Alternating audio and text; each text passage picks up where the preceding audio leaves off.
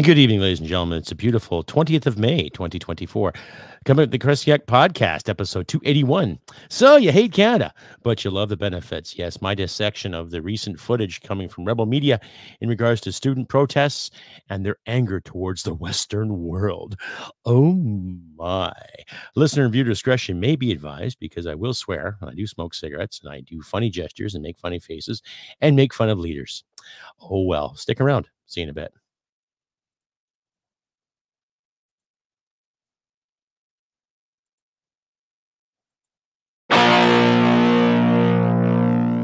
Hit it, sweetheart. Because I am hard, you will not like me.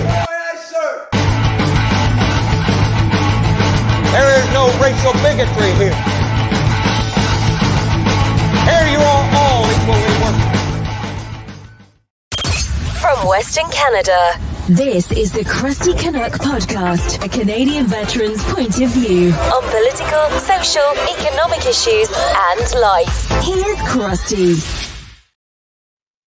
That's right, ladies and gentlemen. Welcome to episode 281. 281 episodes. Oh my God. You hate Canada, but love the benefits. Yes. And uh, some recent news uh, a few students pissing on this country. You know, oh well, uh, shit happens. Anyway, this podcast is brought to you in part by and supported by the Veterans for Freedom Network. That's right, Veterans for Freedom.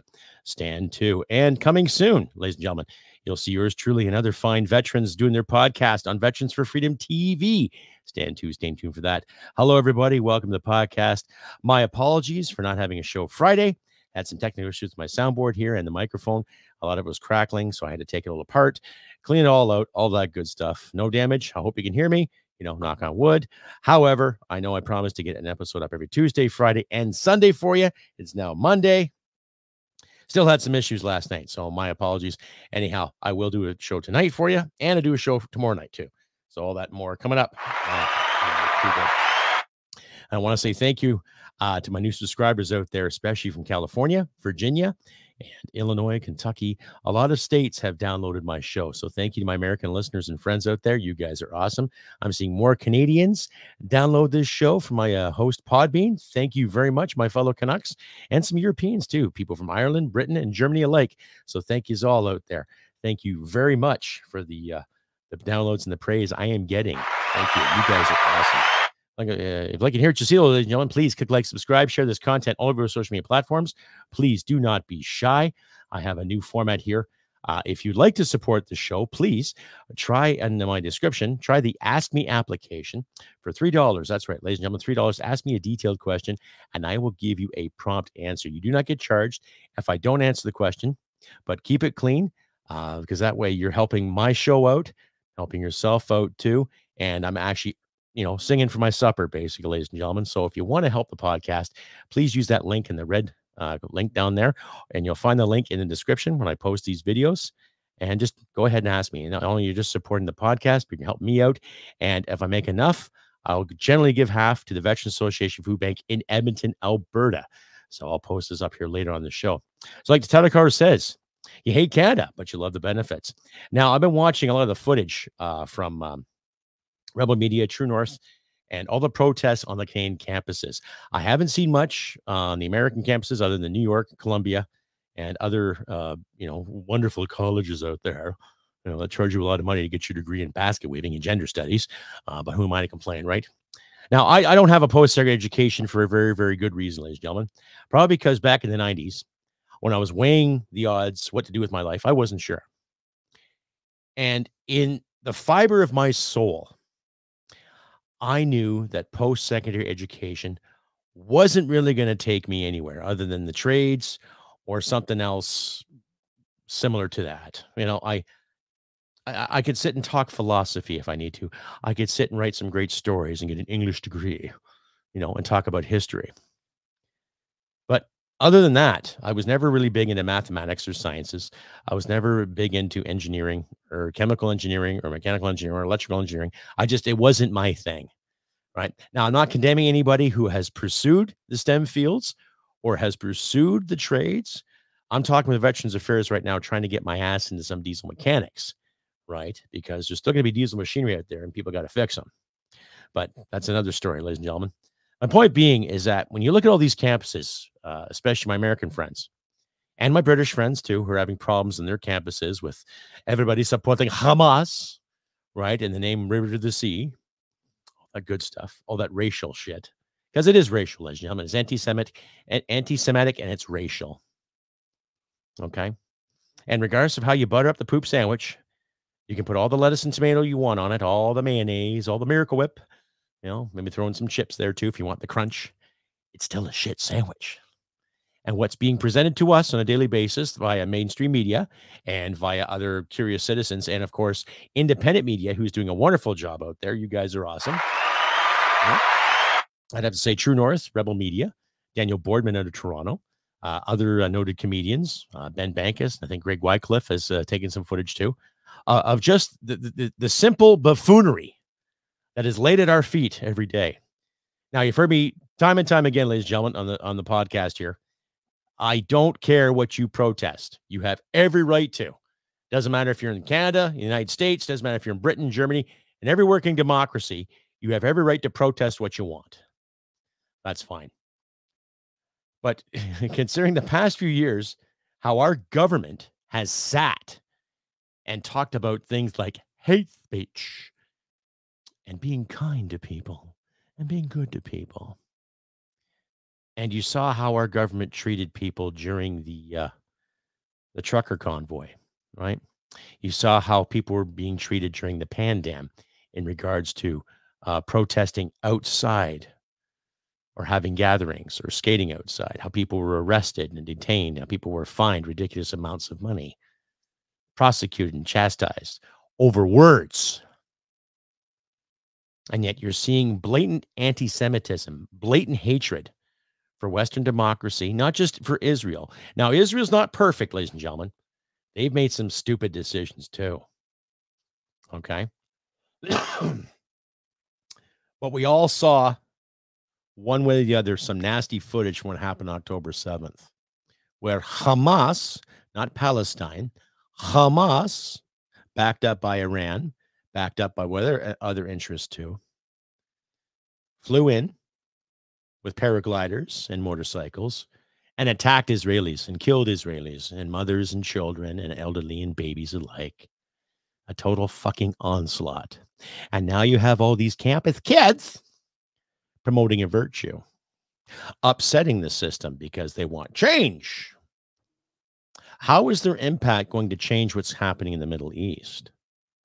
Okay. How is that going to help anybody in the Middle East? Honestly, how are your protests here in Canada and the United States and in Britain going to thwart the Israeli government, going to thwart the Israeli military? Right? To my so called history experts out there, back in December 7th of 1941, what happened to the United States? Now, Hawaii wasn't officially a state at that time. It was territory protected by the Americans. And regardless of how you personally feel about American politics or not, at that time or now, what happened? You had a power in the East that was messing with China, messing with the South Pacific, messing with all these islands and all these communities surrounded by Imperial Japan. Japan figured they'd step over the line and attack Pearl Harbor. What did you expect to happen? America just lie down and go, okay, we'll just heal. Yeah. In turn, they killed 1,200 people on those islands, a lot of sailors, a lot of civilians. What would you expect the United States to do at that time? Right? Say if uh, it was the same thing. Say if Japan got bold enough and invaded Vancouver Island during those years. Canada was already involved World War II two years prior to that. What do you think would have happened? Something to think about, eh? I'm going to queue up a video uh, here shortly uh, on what some of the uh, uh, people in Toronto are, are, saying, and some of the Canadian patriots that are standing up for us Canucks here too. So it, it gives you something to think about, ladies and gentlemen. You know, right back after this. Stay updated and follow Crusty Canuck on Facebook, Twitter, Gab, Telegram, YouTube, and Podbean. Subscribe today and donate at crustycanuck.ca. And you're back, ladies and gentlemen, episode 281 in the Crusty Canuck podcast. So you hate Canada, but love the benefits. I'm your host, Crusty Canuck, and welcome back. Uh, once again, thank yous all to my new subscribers and my future subscribers too. If you like and hear what you see, click like, subscribe, share this podcast, all of your social media platforms. Don't be shy. Keep the Canadian content out there too, because we still have some bills in the works in our parliamentary system that wants to promote Canadian content, but they want Canadian content that's kind of fluffy and cute, like puppy dogs and rainbows and popsicles. Oh my, fuck that. Let's get some real Canadians out there talking and speaking from their hearts. All colors, all creeds, all genders, all spectrums, all sexual preferences. Just get some more good people out there speaking what they have to say. Anyhow, like I said, I'm going to queue up a video here too. Uh, it's from Rebel Media. And uh, basically, what they witnessed in Toronto recently. Know, uh, it's about 12 minutes long, so bear with me, ladies and gentlemen. You know, you know, some of the words that are being said back and forth, and just a few all around decent human beings standing up for this country. And pay attention to a uh, a black lady that's going to say something really terrible to David Menzies. So you'll just uh, see what it's what's going on in that perspective, ladies and gentlemen you know, but you decide. I'm not going to tell you what to think. Uh, take it as what what you think, and uh, just hope you come up with a, with a good decision and formulate your own um, thoughts, as we should, ladies and gentlemen.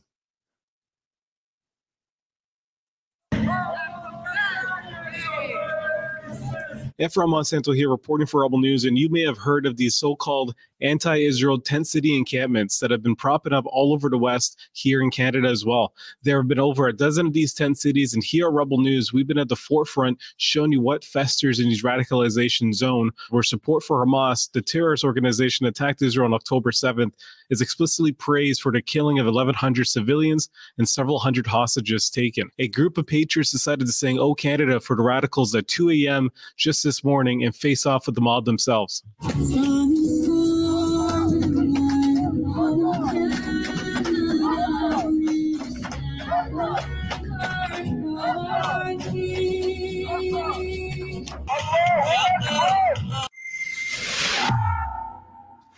For some background on how extreme these individuals are in these so called peaceful protests, just yesterday, my colleagues Alexa Lavoie and Guillaume Roy were assaulted for bringing you the latest in the anarcho tyranny city of Montreal, where mob rule has taken over and Antifa now runs several universities.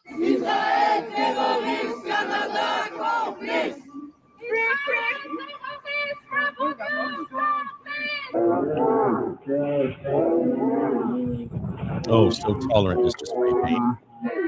Twat.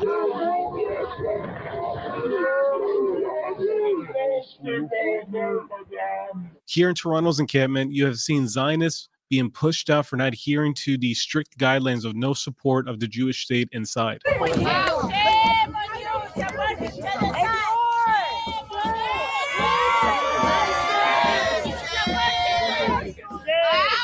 A group of children with woke educators instructed them to say Free Palestine.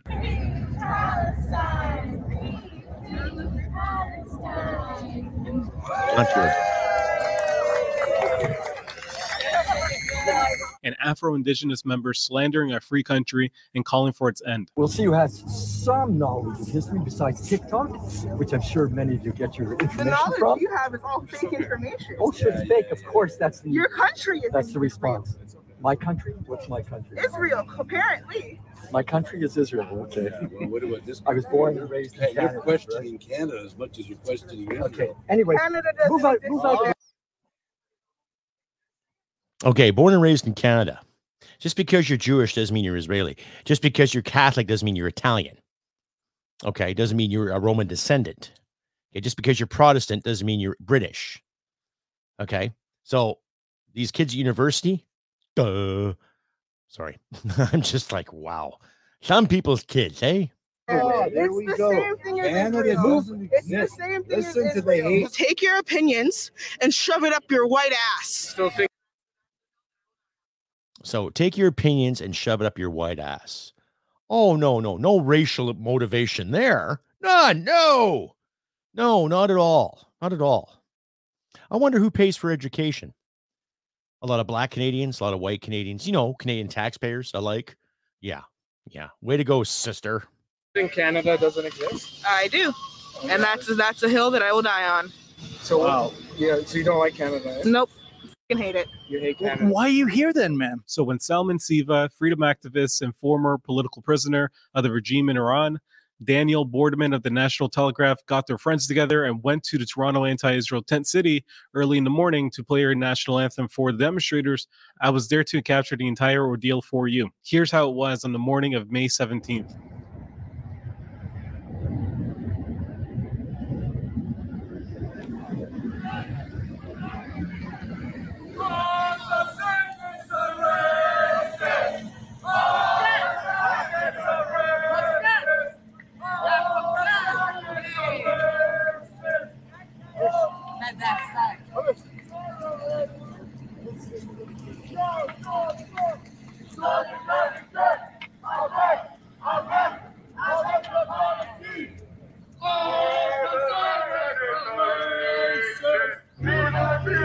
All Zionists are racist? Really?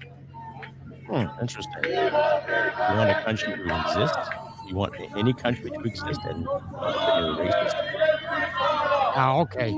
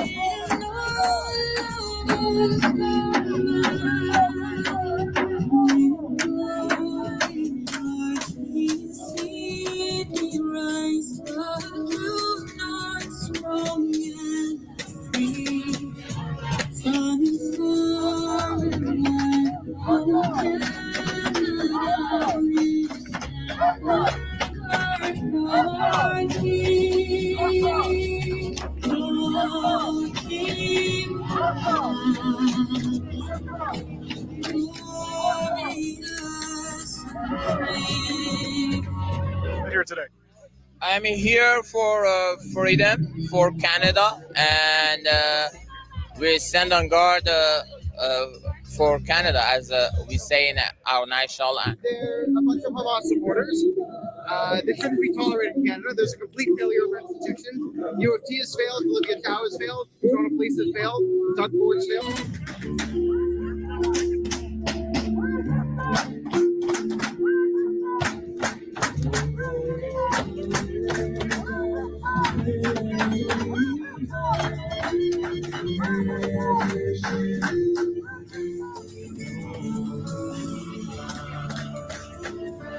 What this means is intifadas are within Justin Trudeau's narrow window of acceptable opinions. Uh, intifadas, incitement to violence of Jews, to communist revolution, uh, you know, glorification of Hamas, called for ethnic cleansing of Israel to make it Arab, which I've heard here multiple times.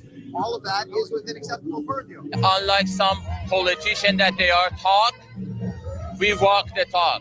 And uh, happily, peacefully, we wave Canadian flag. We sing "Oh Canada," and uh, we are saying that these hatred ca- in must be end.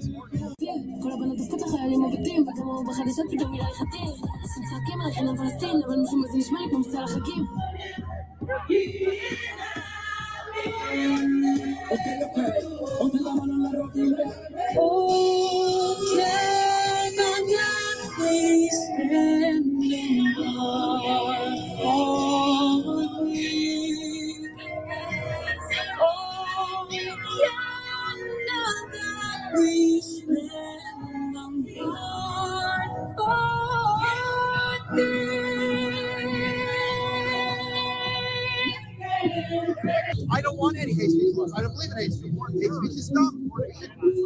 Get rid of all the hate speech laws. But there are crimes you can commit with your words. There's criminal incitement, right? If you get people together, you to incite violence. There's well, trespassing. There's harassment, right? You can protest something, but if you go to someone's bagel shop and scream racial epithets at them at their personal business, this is criminal harassment. We have laws on this, and this is what this is. And you can't, again, no ideological checkpoints in my country. I'm really disappointed uh, at Justin Trudeau, and uh, he just uh, talk. You know that if uh, he has the minimum dignity, integrity, we need to end this hatred in campaign in U of T, in McGill, in uh, Vancouver, in all the universities. These are not something that uh, shows Canadian value. You can see their chants, you can see their signs. All of them are hateful, and all of them are uh, violent.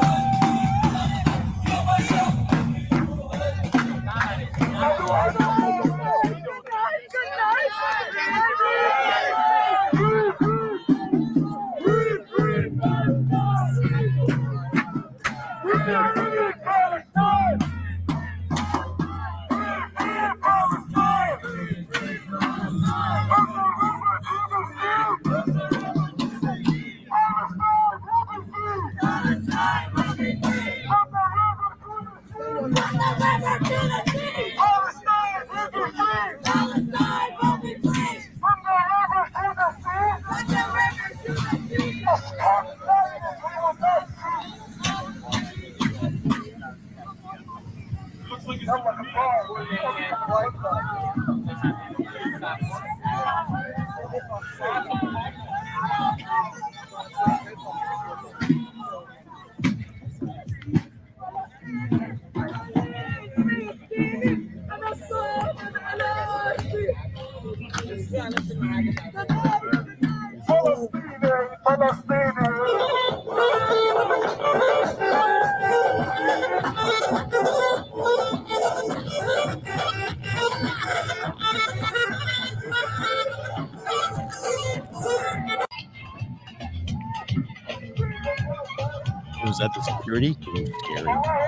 Ooh, that guy. Yeah, I've heard that before a few times. That's cool. Friendly situation.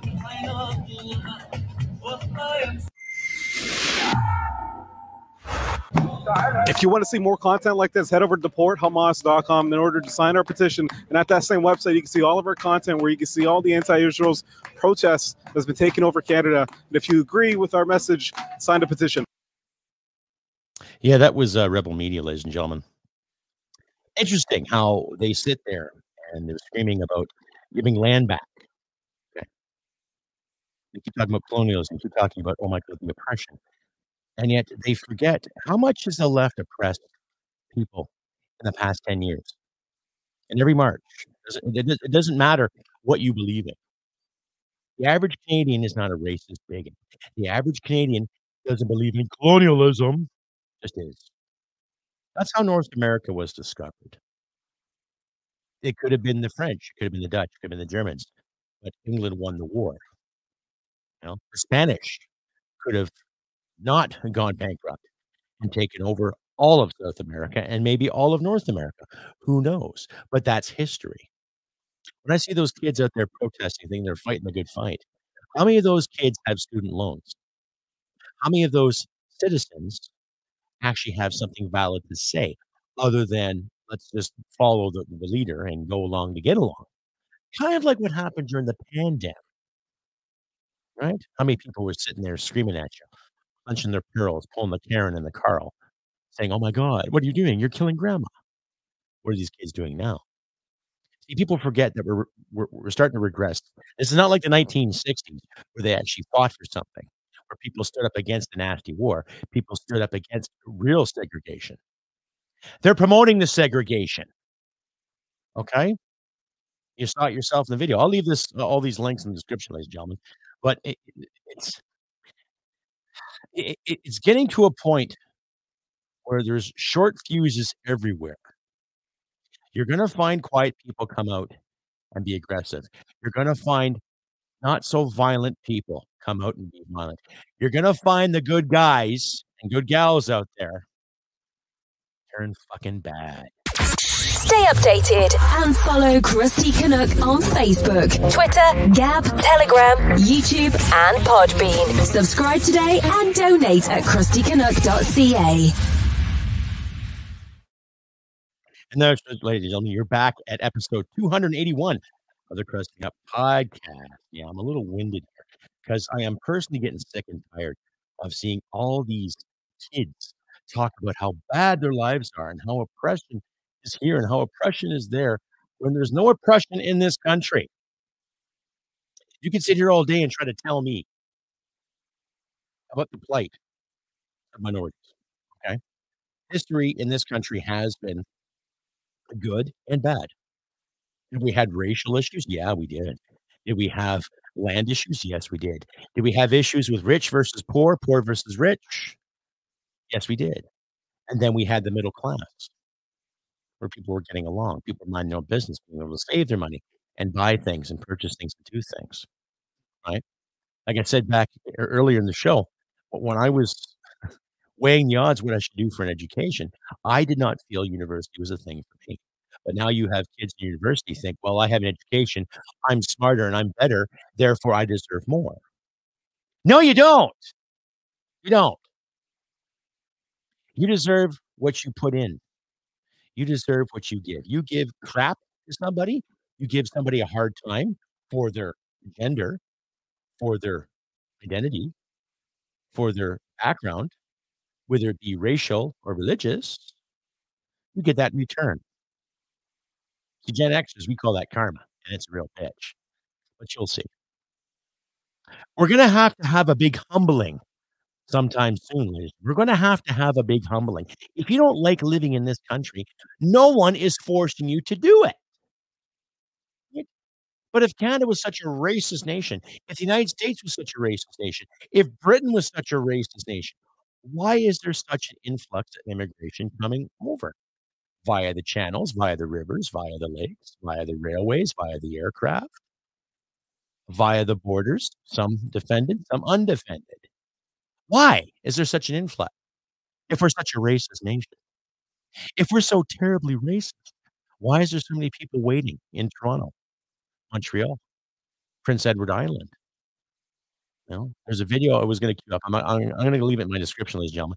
But there's a video about some uh, migrant uh, workers in PEI that are threatening to go on hunger strike if they don't get what they're promised.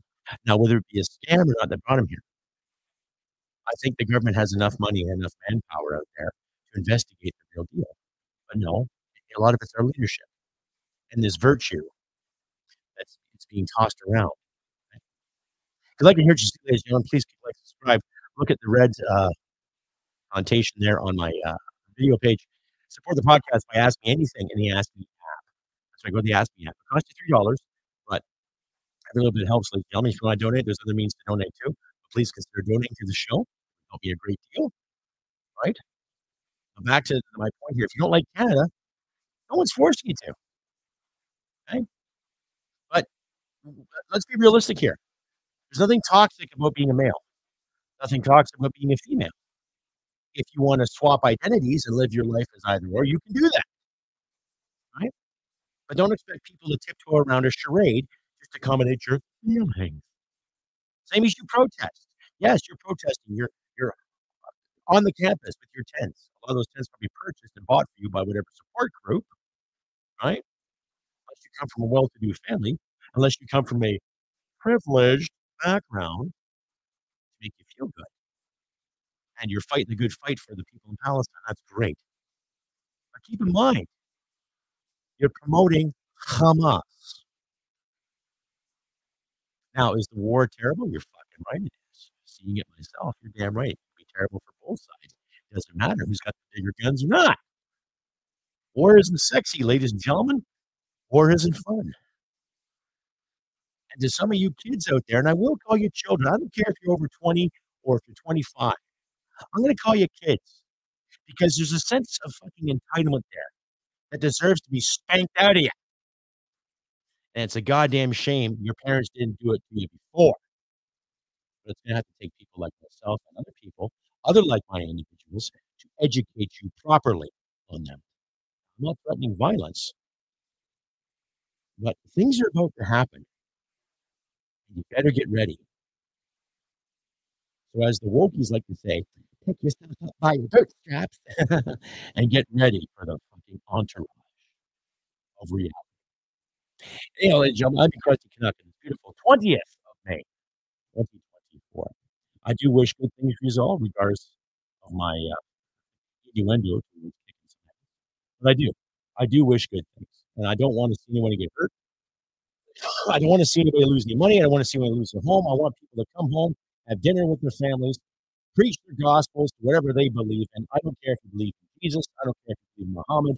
I don't care if you believe in Moses or uh, lemon and a monkey doing the old dance. I don't.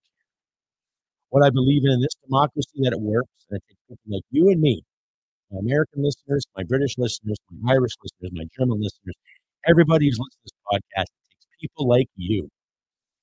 Go out there and do the right thing. Okay? Like I say on my campaign page, not the party, not the person, but the constituents and the country. That simple. I can say, ladies and gentlemen, do what you can to help each other in these trying times. Be good to each other. Stick around for tomorrow. I'll have another episode for you tomorrow. And like I always say, humanity and merit wins the day. Take care, everybody, and I'll see you tomorrow night. And uh, I'll have a better show for you. Bye for now. Hit it, sweetheart. Because I am hard, you will not like me. There is no racial bigotry here. Here you are all equally worthless. This has been another episode of the Crusty Canuck podcast. Stay sane and thank you for listening. From Western Canada, this is the Crusty Canuck podcast.